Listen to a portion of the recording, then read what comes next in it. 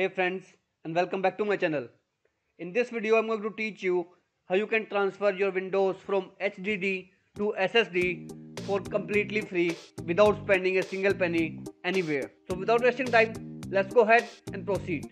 In order to transfer your HDD to SSD you need a simple software so open up your browser and you need to open this website of Macrium Reflect.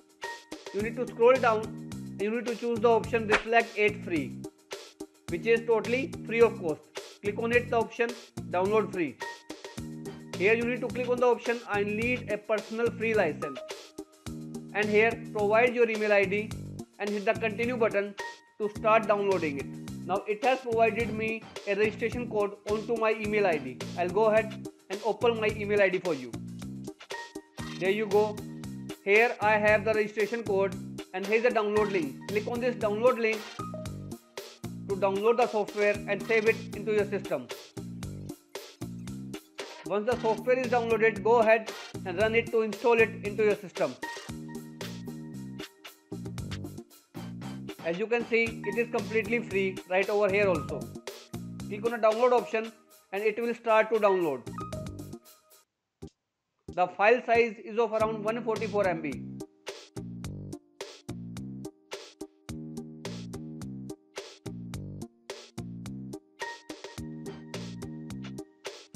Now click on the next button to continue installing Macrium into your system. Click on the next button to continue installing, agree the terms and conditions and then click on the next button to continue installing. Now here provide the email ID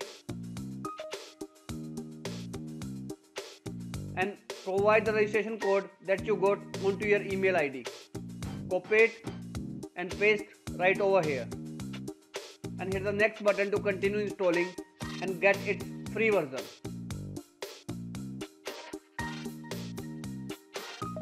Now hit the finish button to launch the Macrium Reflect. Now you are into the interface of the Macrium Reflect. Now here is my SSD which is disk 1 and here is my second disk in which I would like to clone my existing SSD or transfer my Windows from this SSD to an SSD. You can checkmark this particular option to clone all the hard disks or if you want to clone or if you want to transfer a single drive you can click on the single option to simply transfer a single drive or choose this option to transfer the complete hard disk.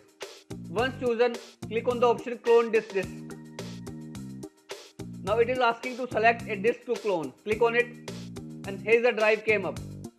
Click on the drive and click on the next button to proceed transferring your data from SSD to your newly created drive.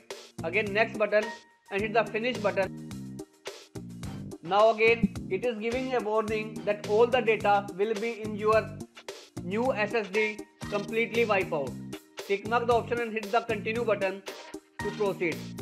Now depending upon the space in your hard disk, it will take some time. Now you can see the clone is completed because the size is even less than a GB. Once it is completed, close it. Close the Macrium Reflect. Now go ahead and enter into your BIOS menu.